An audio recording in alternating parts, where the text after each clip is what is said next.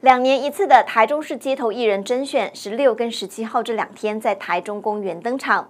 今年呢，不仅报名的数量再创新高，这表演内容啊，更是历年来前所未见。有高龄八十五岁的选手用英语唱京剧哦，还有台中史上第一次呢，有选手以高难度的软骨功来应试。这各种精彩的演出，也吸引现场民众的目光。高难度的杂技表演让现场民众惊呼连连。堪称台湾太阳马戏团的 Hydra 一登场，立即吸引全场目光。该尖叫就尖叫吧！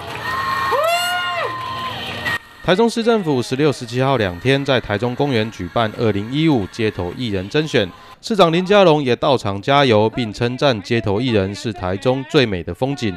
整座城市啊，都是舞台。我们这个城市，因为有街头艺人啊，就像是我们看到的美丽的公园，我们的树木花草上面有翩翩起舞的蝴蝶啊、蜻蜓或者是蜜蜂一样啊，让我们这整个城市啊都美丽了起来。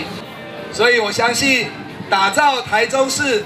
成为街头艺人最友善的城市，大家一起来努力，好不好？今年甄选组数再创新高，共有一千一百七十组接艺高手蓄势待发。甄选者带来的表演更是历年前所未见，有高龄八十五岁的选手用英语唱京剧，还有台中史上第一次以高难度的软骨功应试。甄选活动也吸引不少外籍人士共襄盛举。I believe in the street artists. Even if I don't like what you're doing, I'm going to support you because.